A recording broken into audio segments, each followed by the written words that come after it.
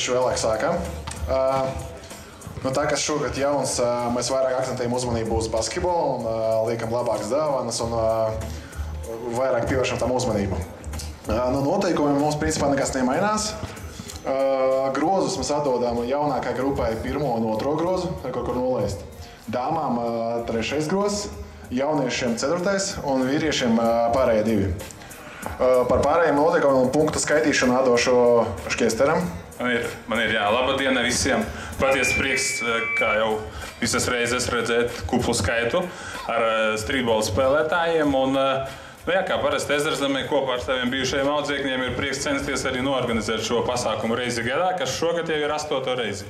Tātad tuvojamies desmit gadiem, uz desmit gadiem gan, gan jau, ka pacentīsimies vairāk pārsteigumus un vēl dažādas interesantas lietas.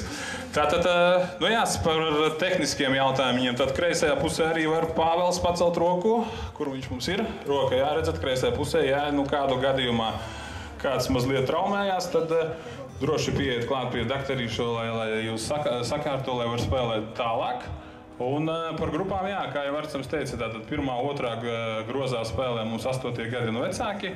Esam jūs un jaunāki atvainojos un sadalām jūs divās grupās. Tātad šeit būs arī sarakstiņi pieejami, un tātad katrs ar katru nospēlē katrā grupā, un tālāk tiek četras komandas. Tātad divi grupas, vienā četras, otrā piecas komandas, un tad jau ceturdaļfināli, pusfināli un fināli.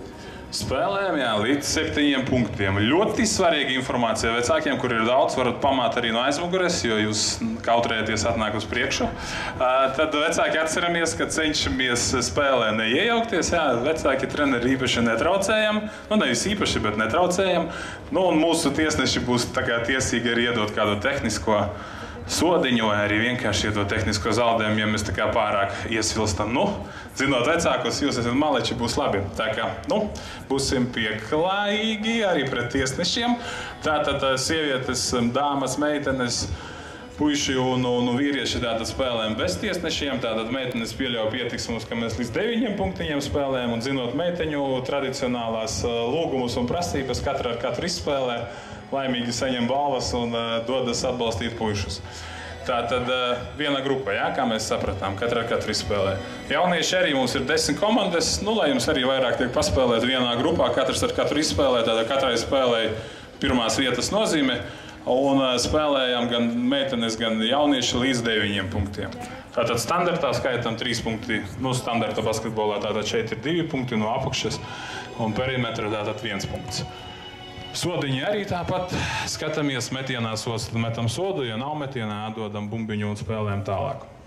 Un pieaugušie sadalāmies tātad divās grupās, sešas un septiņas komandas tālāk no katras grupas pa četrām tiek. Spēlējam jau kā tradicionāli mūsu variantā līdz 11 punkti. Tāpat nekas nemainās. Esam joprojām korekti, toleranti viens pret otru un par skaistu spēli. Mēs skatāmies, ja atbrīvojas grozs, pieņemsim, dāmas beidz ātrāk spēlēt, tad jaunieši vai vīrieši var iet spēlēt uz to grozu. Droši izmantojam visu tukšos grozus. Nu, to gan jau arī esams un, un, un Zimā pateiks priekšā jums. Tad jau, ja kāda grupa pabeigs ātrāk, tad arī sekos papildinājumi ar grozu, grozu, grozu punktiņiem. Tagad varam visi pienāk apskatīties uh, un meklēt savu pretniekus. Rekord šitā ir, uh, kas mums ir? Zēni. Mazā grupa. Tā ir dāmas. Šitā ir uh, jaunieši, cik es saprotu, ja? Šitie ir jaunieši, šeit ir dāmas. Dāmas var atsevišķi paralēkot